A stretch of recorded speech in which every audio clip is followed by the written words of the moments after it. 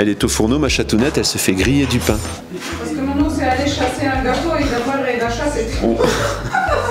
Son ours est allé chasser les gâteaux, mais il n'a pas trouvé. En fait, on a une boulangerie juste à côté, là, et c'est fermé. Pas de gâteau, quoi. Elle avait envie de gâteau, parce que peut-être elle est enceinte, je sais pas. Et euh, elle avait une envie de gâteau. Et là, du coup, elle est comme une folle. Elle est en train, là, ici, de se faire griller du pain, et elle va foutre de la confiture dessus. Et ensuite, elle va couiner comme un petit cochon. Là. Parce que tu auras mangé.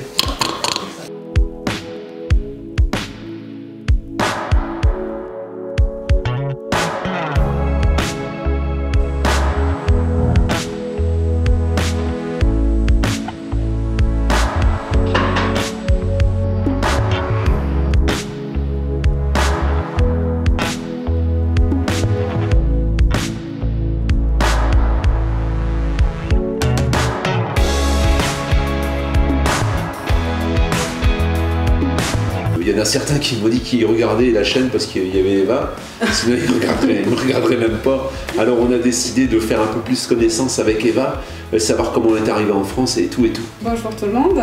Alors Pascal il dit des bêtises comme là, maintenant on va se présenter tous les deux. C'est ce sera pas Ah, mais on va commencer par toi. Bah, on commence par moi et toi aussi. D'accord. T'es arrivé en France il y a combien de temps déjà? Il y a presque 30 ans. 30 ans que t'es en si, il y a France. 30 ans. J'ai eu cette idée de, de demander un peu ce que tu étais, parce que souvent tu parles de la Pologne, et cette période qu'on vit aujourd'hui, elle te rappelle justement ta vie en Pologne. Parce que hum, avait état de guerre en Pologne et euh, c'était un peu, c'était même exactement même l'ambiance. C'était rigolo parce que moi j'étais petite euh, et ça, me rappelle de, moments euh, très agréables parce qu'on n'avait pas d'école, on était tout fous, euh, nos parents étaient un peu stressés, tout le monde, tout le monde se réunissait. Là on peut pas se réunir. Donc quand il y avait état de guerre, les voisins, tous, c'était vraiment. Et nous les enfants, bah, c'était le bonheur. hein. Quand on t'appelait Wojtek, Mais là encore, parce que là j'avais une petite jupe. C'est mon papa qui m'a. là c'est Wojtek, là, hein, c'est Ouais, ça. hein. ouais. Et à côté, Pareil. Parce que quand j'étais petite, j'avais. t'as ton doigt devant. J'avais toujours les cheveux. Ça, c'est ma maman D'accord et une cousine. Et j'avais toujours les cheveux très très courts. Jusqu'à l'âge de 7 ans, à partir de. Voilà, là on voit encore bien. Parce que j'avais les cheveux très fins et ma mère me coupait Eh oui. toujours les cheveux très courts. C'était. euh, Il y en a beaucoup qui critiquent le communisme, mais dans mes souvenirs d'enfance, c'était magique. Euh, on pouvait jouer dehors pendant les vacances jusqu'à 22h, 23h, même tout petit, on avait 6 ans. Il n'y avait pas d'inquiétude, il n'y avait, avait pas d'insécurité. Il y avait quelques ivrognes, c'est tout, mais ils n'étaient pas, pas dangereux. Les gens, ils étaient beaucoup, ils s'entraidaient, ils étaient comme une grande famille, en fait, on vivait comme une grande famille. La télé, il n'y avait que je crois, deux chaînes, euh, c'était encore noir et blanc. On n'avait pas de comparaison, on ne pouvait pas comparer qu'ailleurs les gens vivent mieux, qu'ils ont plus. Il y avait une, une- une partie des gens, ceux qui étaient plus près de la source, hein, qui vivaient quand même un peu mieux. Mais globalement, tout le monde euh, vivait pareil, on ne pouvait pas voyager. C'était- un peu comme maintenant, les gens, ça va s'encore amplifier, parce que plus on, sera confiné, plus ça va s'amplifier, que les gens deviennent de plus en plus solidaires. Qu'on commence à s'intéresser les uns aux autres. Et puis à l'époque, euh, c'était c'était ça un peu. que on s'entraidait, il y avait vraiment l'humanité qui, qui était plus présent, euh, beaucoup, beaucoup plus. Et Tu vivais dans une famille, donc vous étiez combien? Euh, J'ai trois sœurs. Et à quoi ils ressemblaient? Parce qu'il y en a beaucoup qui sont intrigués par tes sœurs. Je vais commencer par- par si on parents. pourrait éventuellement euh, faire des clones. mes, mes parents, ils sont dé- dé- décédés. Alors, voilà, c'est juste pour montrer ma Donc maman. ça, c'est ta maman. Elle avait 60 ans. Ta maman, là, elle avait 60 ans déjà. 60 hein. De mon papa, j'ai juste une photo comme ça. Il est là. Et ça, c'est tous ses petits-enfants et ses, ses filles. Parce que mon Mhm. papa, il avait encore une première femme avec elle, il avait quatre enfants. D'accord. Du coup, j'ai encore quatre demi-sœurs et un demi-frère. Mhm. Et ça, et mes sœurs sont là. Bon, là, maintenant, elles ne ressemblent plus trop à ça, hein, elles sont un peu plus âgées. Juste. C'est nous quatre. Vous étiez toutes brunes en fait. Hein On est toutes brunes à la base, ouais. ah ouais. Ah, il y a juste euh, elle qui reste euh, brune, et puis moi, je redeviens... Et euh, toutes les autres sont blondes. Toutes les autres sont blondes, ouais. C'est c'est la vodka qui fait ça, qui éclaircit Ouais. les cheveux comme ça Moi, j'ai arrêté de boire depuis quelques mois, c'est pour ça que je, D'accord. je redeviens brune. D'accord, bah dis donc, bravo. hein. Alors on peut, on peut parler de ce, que tu, de ce que tu étais un petit peu, de ce que tu faisais. Euh, tu étais un petit peu dans... c'est, un pays qui est très très religieux. Ma, ma mère, elle était à la limite fanatique. Alors elle m'a élevée dans un esprit très... Alors ça c'est moi quand j'avais 18 ans. Mhm. Voilà. 18 ans, tu fais un, peu bébé à 18 ans quand même, hein? 18 ans, ouais. Là j'avais 20 ans.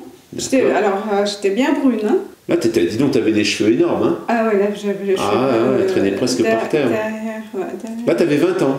20 ans, ouais. Hein, on dirait que t'as 14 ans. Ouais, bah oui, souvent on me demande des pièces d'identité bah oui. pour, On dirait un bébé un peu. Ouais. Là, pareil. Uh-huh. Là, t'avais quel âge hein? Euh, Là, j'avais 18 ans. 18 ans, la vache.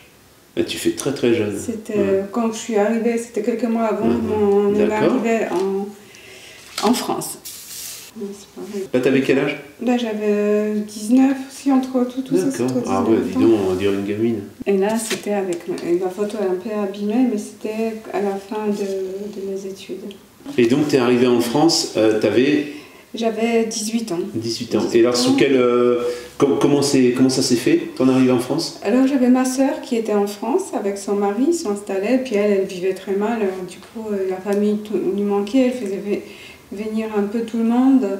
Et puis moi j'étais la plus jeune, je suis la plus jeune de mes sœurs et bah, elle voulait que je vienne, je suis venue pour les vendanges. Euh, et puis euh, comme ça, finalement je suis, je suis restée. ça fait 30 ans que je vendange en France. T'as vendangé réellement ou pas du tout? Ah si, un tout petit peu. Combien? Une semaine? Euh, Oh, peut-être trois jours. Et après, tu es resté ici. Donc au départ, tu es, arrivé dans l'est de la France. Hein. Oui, j'étais à Strasbourg pendant 7 ans, vers mhm. Strasbourg, mm au Bernay. D'accord. Bah, au début, c'était vachement difficile parce qu'en Alsace, c'est compliqué. Ils sont assez froids, les Alsaciens. Hein. Hum, ma soeur, d'ailleurs, avec son mari, ils sont retournés en Pologne parce qu'elle n'a pas pu euh, s'adapter, c'était trop difficile.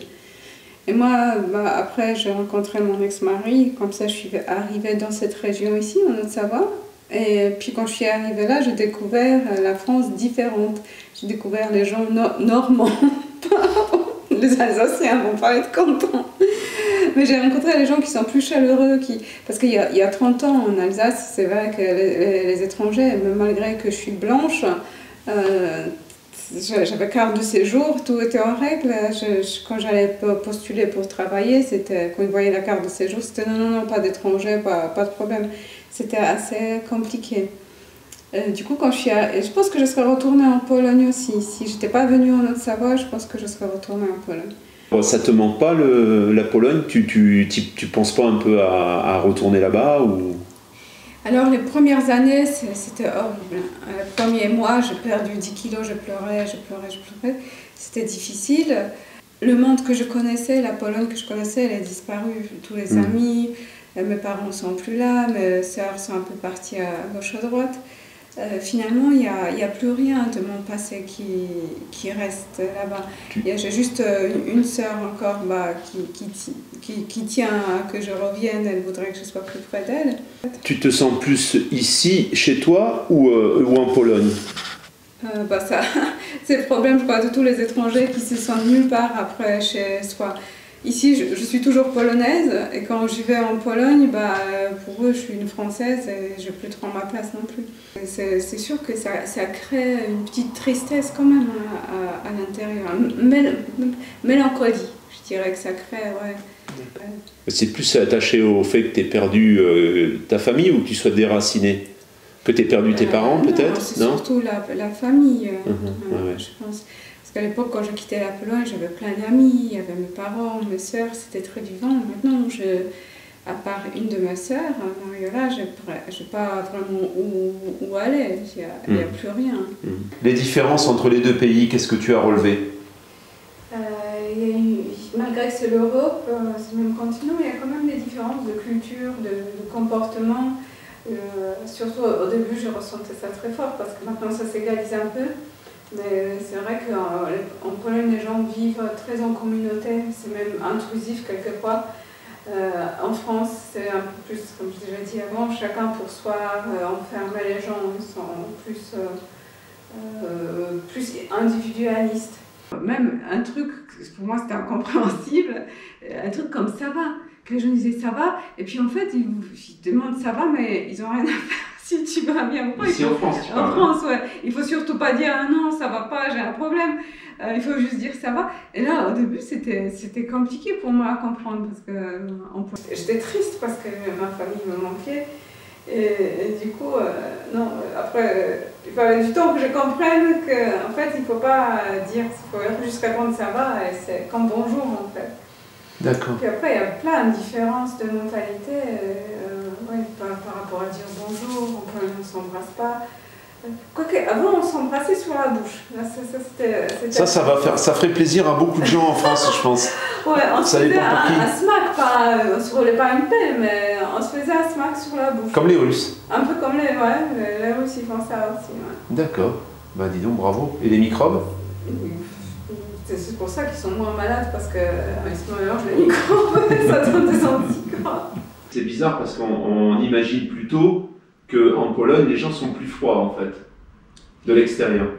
Oui, c'est un peu comme on, on parle des gens dans, dans le Nord, comme dans Bienvenue chez les Ch'tis, que euh, tu braies deux fois quand tu arrives dans le Nord et quand tu repars. T'es le bras de faux. Ouais, deux fois. Et puis en Pologne, c'est un peu pareil. À la surface, les gens sont assez froids, mais quand, quand tu as besoin d'aide, quand ils sont plus à l'écoute, ils sont plus présents. Ouais. euh, que, que en, en France, euh, c'est un peu plus, euh, plus superficiel, ils seront peut-être plus sympas, plus souriants à premier abord, mais si jamais il, faut être. Bon, je vais, après, je ne vais pas être euh, critique, euh, parce que ça sonne négatif, mais c'est vrai que ouais, c'est- superficiel, cette froideur en Pologne est assez superficielle. Bon, bah écoute Eva, je te remercie pour cette interview. je t'en prie, monsieur, monsieur Pascal. Et bien, euh, je te dis euh, à tout euh, bientôt. À tout bientôt. Au revoir.